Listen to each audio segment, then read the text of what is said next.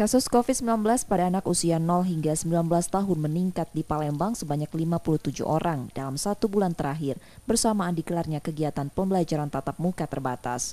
Dari pemeriksaan Dinkes Palembang, penularan COVID-19 pada anak melalui keluarga dan bukan di sekolah dengan mayoritas gejala ringan. Untuk mencegah penularan COVID-19 di sekolah pada kegiatan PTM, Dinkes meminta sekolah memperketat aturan, seperti memastikan siswa dalam kondisi sehat dengan pemeriksaan kesehatan secara berkala, serta lebih memantau siswa setelah PTM agar dipastikan langsung kembali ke rumah masing-masing. Nah, kalau kita lihat eh, kasus COVID-19 yang berhubungan pada kelompok usia sekolah, kelompok usia sekolah itu kita ambillah 0 sampai 19 tahun ya.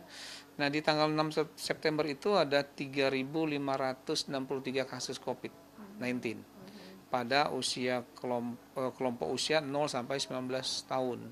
Itu tanggal 6 September. Nah, kita bandingkan di tanggal 3 Oktober terakhir kemarin hari Minggu kasus COVID-19 pada kelompok usia 0 sampai 19 tahun itu ada 3.620 bertambah 57 orang mereka terinfeksi dari anggota keluarga ataupun tetangga yang kontak di rumah. Jadi bukan di sekolah. Jadi boleh kami katakan bahwa tidak ada transmisi penularan COVID-19 di sekolah. Palembang kini berstatus PPKM level 2. Jumlah siswa yang mengikuti PTM di sekolah tetap 50% dari jumlah kapasitas per kelas, diikuti dengan aturan protokol kesehatan ketat, serta untuk PAUD sebanyak 33 persen. Reski Oktora, Muklas Diferensial, Purwantoro, Kompas TV, Palembang, Sumatera Selatan.